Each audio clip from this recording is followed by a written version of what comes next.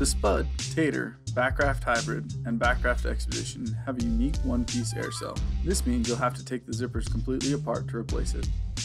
Start with the boat inflated. After removing the valve cap, use a valve wrench to loosen the valve, then deflate the boat. Take the split rings off the zipper cars. To take apart the first zipper, take one of the zipper cars and thread it through the hole in the end of the kayak.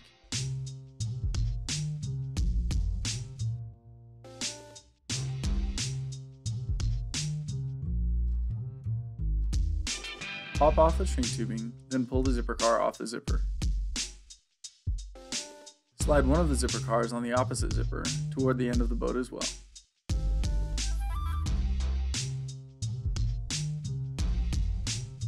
Then pop off that zipper shrink tubing and remove the car.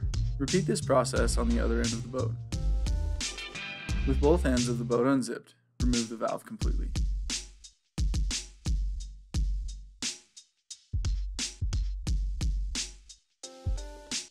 Now you can remove the air cell. As you install the new air cell, make sure that the valve lines up with the valve hole in the outer shell. Make sure that there are no twists in the air cell, and that the seams in the air cell's bow and stern line up with the seams in the outer shell's bow and stern. Take the valve out of the new air cell and reinstall it through the outer shell.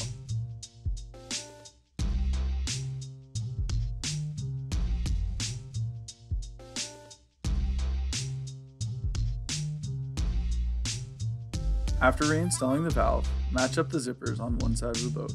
Work the zipper car onto the ends of the zipper.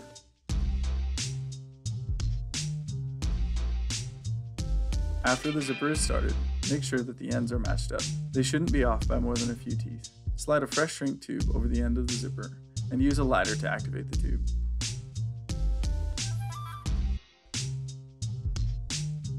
Tuck the end of the zipper inside the outer shell. Find the ends of the other zipper and pull them out of the outer shell into a J shape.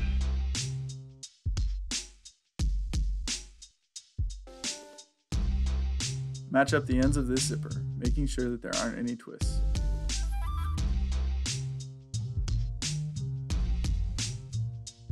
This time the zipper pull will face down. Start the zipper car onto the ends of the zipper. After the zipper is started, make sure that the ends are matched up. They shouldn't be off by more than a few teeth. Slide a fresh shrink tube over the end of the zipper and use a lighter to activate the tube. Hold the zipper pull in the direction it will go, then slide the zipper car up through the small hole.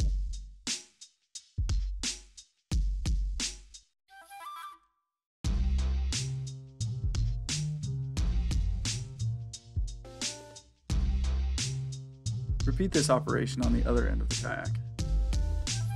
Zip up the boat and reinstall the split rings.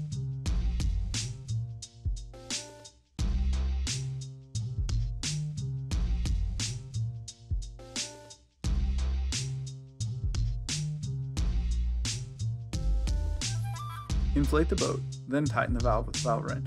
If the air cell doesn't fill the outer shell completely, or if the valve seems to be pulling in an odd direction, deflate the boat, open the outer shell, and adjust the air cell. After adjusting the air cell, be sure to rezip the boat and replace the split rings.